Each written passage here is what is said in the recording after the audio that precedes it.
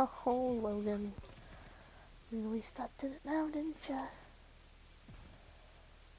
Oh, this, this is just really, it's really just takes the cake, doesn't it, of all the bad things he's done.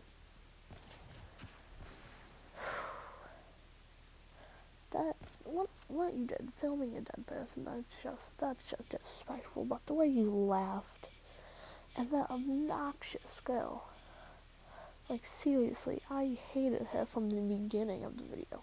The fact that you couldn't even take off that ridiculous hat.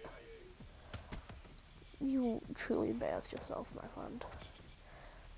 You, you really screwed the pooch, okay? Mm. It, it doesn't even annoy me that you have like um kid subscribers, so like you know, oh I saw a dead body. That's not that disturbing. Okay, when I was four I saw a dead body. Yes, it was at a funeral, but still. You know, it's the same thing practically. And not not really. What whatever, it's not the same thing, but still. I watched that, I'm fine. I saw people like thirteen year old kids crying, being like, Oh I saw a dead body in a video. Okay. Okay, parents, you need to stop. You need to stop that it's annoying.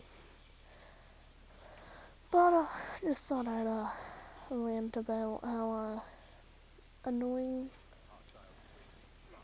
Logan, Logan Paul is in general.